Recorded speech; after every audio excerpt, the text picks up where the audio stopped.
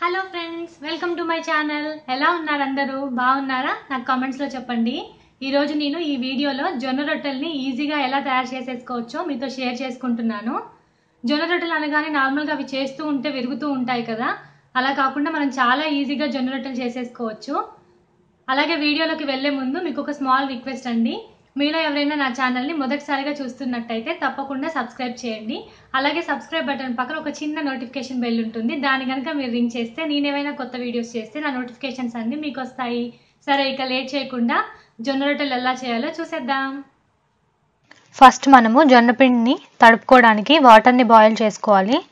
ఇక్కడ నేను చిన్న టీ గ్లాస్ తోటి ఒక త్రీ గ్లాసెస్ వాటర్ని వేసుకుంటున్నాను.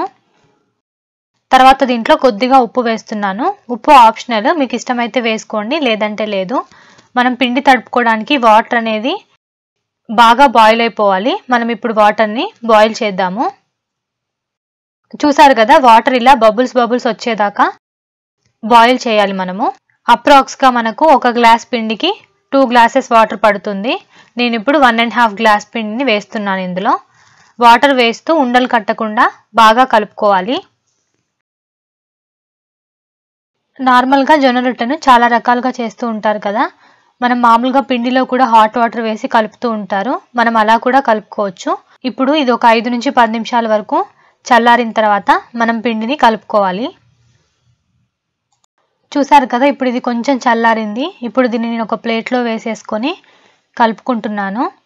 మనకు జొన్న రొట్టెలు విరగకుండా రావాలి అంటే ఒకటే ఒకటి ఇప్పండి అదేంటంటే మనం పిండిని ఎంత బాగా అయితే తడుపుకుంటామో మన రొట్టెలు కూడా అంత బాగా వస్తాయి. దాన్ని మనం బాగా ముద్ద కట్టే వరకు చపాతీ పిండిలాగా కలుపుతూ ఉండాలి. మనము చపాతీ చేసుకునేటప్పుడు పిండి కలుపుకుంటాం కదా అలా కన్సిస్టెన్సీలో మనం ఈ పిండిని కలుపుకుంటే సరిపోతుంది. మరీ మెత్తగా కూడా కలుపుకోకుండా మరీ గట్టిగా కలుపుకోకుండా ఈ పిండిని మీరు తడుపుకోండి. దీంట్లో మీకు కొద్దిగా వాటరిష్గా అనిపిస్తే పొడిపిండిని చల్లుకుంటూ ఈ పిండిని కలుపుకోండి. మీకు వీడియోలో కనిపిస్తుంది కదా నేను కొద్దిగా పొడిపిండిని చల్లుకొని పిండిని మళ్ళీ కలుపుకుంటున్నాను.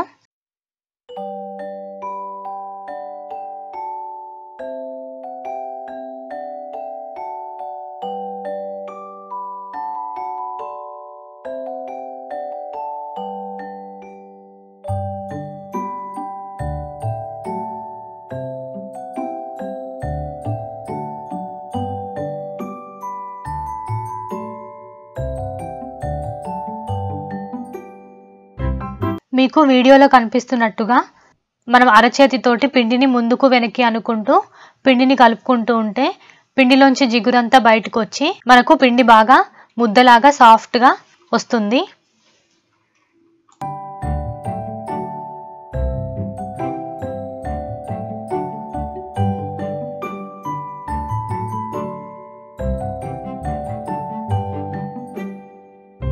చూసారు కదా ఈ పిండిని నేను ఒక ఐదు నిమిషాల పాటు ఇలా కలుపుతూనే ఉన్నాను. మనకి ఇలా పిండి ముద్దలాగా వచ్చేసింది. ఇప్పుడు మనం దీంతో రొట్టెలు చేద్దాము. మనము ఈ రొట్టెలు కాల్చుకునేటప్పుడు పెనం అనేది బాగా వేడిగా ఉండాలి. అందుకని నేను ముందే పెనంని కూడా స్టవ్ మీద ఆన్ చేసి పెట్టాను. అలాగే నేను ఒక పేపర్ని కిందంతా స్ప్రెడ్ చేసుకుంటున్నాను. మనం రొట్టె చేసుకునేటప్పుడు పొడిపిండి అంతా కింద పడుతుంది కదా మనం క్లీన్ చేసుకోవడానికి కొంచెం కష్టంగా ఉంటుంది. మనం ఇలా పేపర్ని కనుక కింద వేసుకుంటే పిండి ఏదైనా పడినా కూడా దాని మీదే పడుతుంది కాబట్టి క్లీన్ చేసుకునేటప్పుడు మనకి ఈజీగా ఉంటుంది.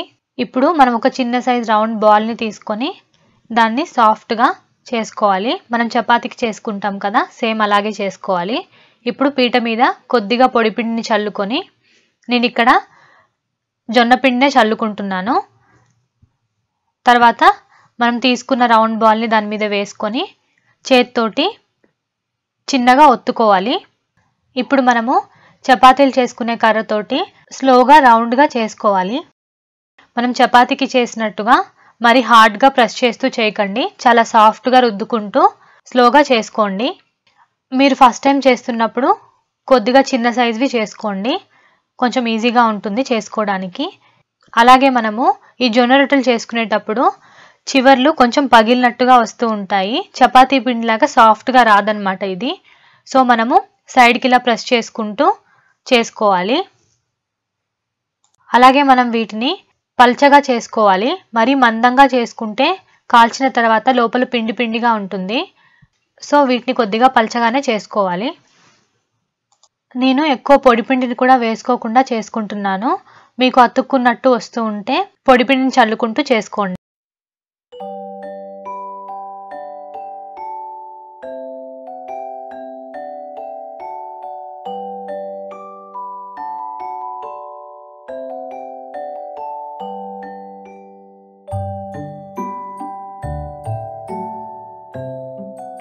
చూసారు కదా ఒక రొట్టె రెడీ అయిపోయింది. నేను ఇంకొకటి కూడా చేసుకొని ఒకేసారి కాల్చుకుంటాను.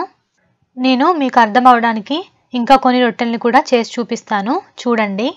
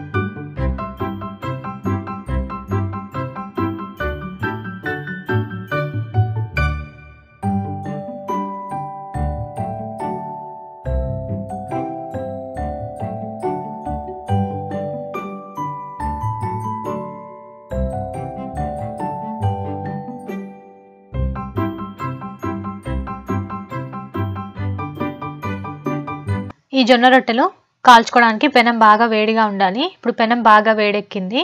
నేను ఇప్పుడు రొట్టెను దీని మీద వేసుకుంటున్నాను. నేను నా పెనం సైజ్ అంతా రొట్టెను చేసుకున్నాను. మనం కావాలంటే ఇంకా పెద్దగా కూడా చేసుకోవచ్చు. అలాగే మనం రొట్టెను చేసిన తర్వాత పీట మించి తీసేటప్పుడు అడుగు భాగం మనకి పెనం మీద వేసినప్పుడు అది పైకి రావాలి. ఎందుకంటే కింద ఏదైనా పొడిపిండి ఉంటుంది కదా అది మనము తీసేయడానికి ఈజీగా ఉంటుంది. పైన సైడ్ ఉంటే ఈ జొన్న రొట్టెకి పైన మనము తడి బట్టతోటి చాలామంది వాటర్తో అద్దుతూ ఉంటారు. మనం రొట్టె చేసుకునేటప్పుడు పొడిపిండిని ఎక్కువగా చల్లుకుంటూ చేసుకుంటే మీరు తడి బట్టతోటి తీసేసుకోండి. నేను ఇప్పుడు తడి బట్ట ఏమీ యూజ్ చేయట్లేదు ఇక్కడ.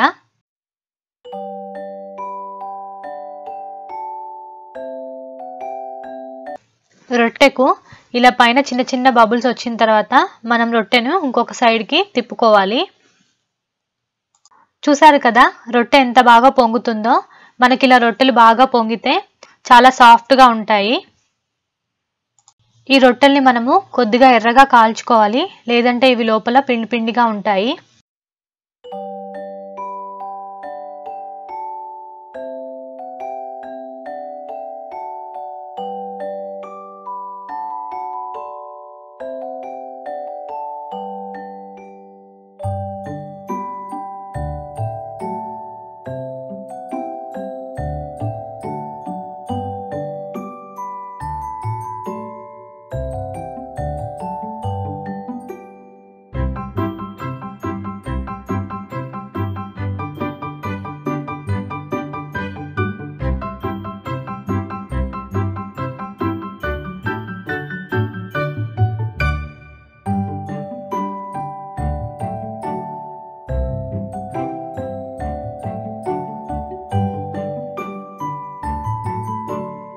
నేను మిగతా రొట్టెల్ని కూడా ఇలానే చేస్తూ కాల్చేస్తున్నాను ఒకేసారి. జొన్నలు మన హెల్త్కి చాలా మంచిది కదా. బియ్యము ఇంకా గోధుమలతో పోలిస్తే జొన్నల్లో ఫైబర్ కూడా ఎక్కువగా ఉంటుంది. ఎవరైనా వెయిట్ లాస్ అవ్వాలి అనుకునే వారికి ఈ జొన్న రొట్టెలు చాలా బాగా పనిచేస్తాయి. అలాగే వీటిలో యాంటీ ఆక్సిడెంట్స్ ఇంకా మన బాడీలో రోగనిరోధక శక్తి ఇవన్నీ పెంచడానికి కూడా జొన్నలు బాగా ఉపయోగపడతాయి. జొన్నలు ఒకటే కాకుండా చిరుధాన్యాలు అంటారు కదా. అంటే రాగులు సజ్జలు కొర్రలు అరికెలు సామలు ఇవన్నీ కూడా మన హెల్త్కి చాలా మంచిది. మన రోజువారీ ఆహారంలో వీటిని కనుక భాగం చేసుకుంటే మనం చాలా హెల్తీగా ఉండొచ్చు. తప్పకుండా మీరు కూడా ఈ జొన్న రొట్టెల్ని ట్రై చేయండి. ఒకటి రెండు సార్లు ట్రై చేస్తే థర్డ్ టైంకి ఫోర్త్ టైంకి మీకు వచ్చేస్తుంది. ఫస్ట్ టైం చేసినప్పుడు రాకపోతే అయ్యో నాకు రావట్లేదు అనుకోకండి. మళ్ళీ ఇంకొకసారి ట్రై చేయండి. ఈజీగానే వచ్చేస్తాయి. కాకపోతే మీరు ఫస్ట్లో చేసుకునేటప్పుడు కొంచెం చిన్న సైజ్ చేసుకొని మీకు కొంచెం అలవాటైన కొద్దీ వీటిని సైజ్ పెంచుకుంటూ పోతే మనకి ఇవి చాలా ఈజీగా వచ్చేస్తాయి. మనము ఈ జొన్న పిండితో దోశలు కూడా చేసుకోవచ్చు. అవి కూడా చాలా టేస్టీగా ఉంటాయి. నేను జొన్న దోశల్ని నా ప్రీవియస్ వీడియోలో పోస్ట్ చేశాను. నేను డిస్క్రిప్షన్ బాక్స్లో లింక్ ఇస్తాను. మీకు ఎవరికైనా కావాలంటే చూడండి.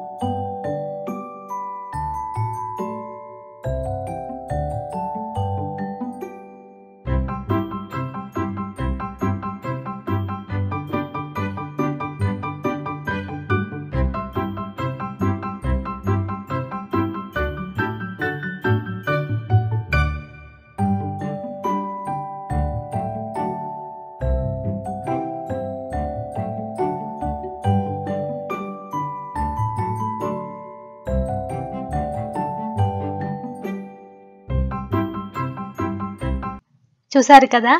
ఎంతో ఈజీగా వేడివేడిగా జొన్న రొట్టెలు రెడీ అయిపోయాయి. వీడియో నచ్చితే లైక్ చేయడం మర్చిపోకండి. థ్యాంక్స్ ఫర్ వాచింగ్ మళ్ళీ ఇంకొక మంచి వీడియోతో మీ ముందుకు వచ్చేస్తాను బాయ్ టేక్ కేర్